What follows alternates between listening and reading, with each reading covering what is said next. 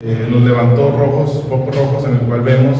que atenta contra ciertas eh, eh, regulaciones internacionales del medio ambiente y de competitividad para México. Nosotros le hicimos llegar ya a nuestros cuatro diputados federales, aquí traigo una copia de la carta que entregamos al diputado federal Marco Cupo, de la misma manera se le hizo la entrega. Esta carta que le estamos haciendo como representantes legisladores federales de Baja California Sur, se los leo de manera breve, dice lo siguiente. La iniciativa que reforma los artículos 25, 27 y 28 de la Constitución Política de los Estados Unidos Mexicanos es una violación abierta a los diferentes tratados internacionales, incluidos el TMEC, donde desmantela el mercado eléctrico regulatorio y pone en riesgo la competitividad del país. El monopolio gubernamental que se le pretende dar a la Comisión Federal de Electricidad y limitar la participación del sector privado impactará negativamente en la inversión privada, tanto nacional como extranjera, reduciendo el potencial del crecimiento futuro de la economía.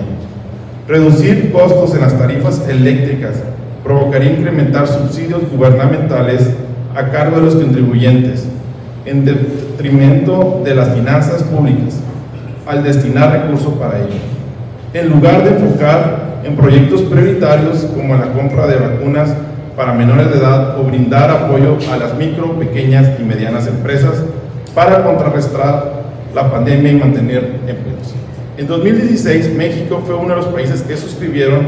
el Acuerdo de París como uno de los compromisos a nivel mundial para reducir los efectos de gas invernadero en un 35% para el año 2024. Sin embargo, los objetivos de esta reforma son contrarios a estos principios y atentan directamente contra el combate al cambio climático. Desde la Confederación exhortamos a impulsar la realización de un parlamento abierto para crear mesas de trabajo donde especialistas, legisladores, sociedad civil, organismos empresariales y usuarios del sistema eléctrico nacional, entre otros, manifiesten su postura que permitan mostrar los graves efectos de la reforma, en algunos casos con consecuencias de carácter irreversible. Como sector patronal, estamos listos para participar y defender que se cumpla el Estado de Derecho,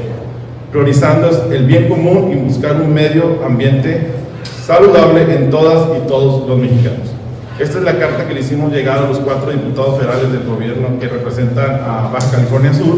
con la intención, como ven ahí, es exhortar a que se haga un parlamento abierto, invitar a los diferentes actores de la sociedad civil para discutir la reforma eh, eh, energética que ha propuesto el gobierno federal.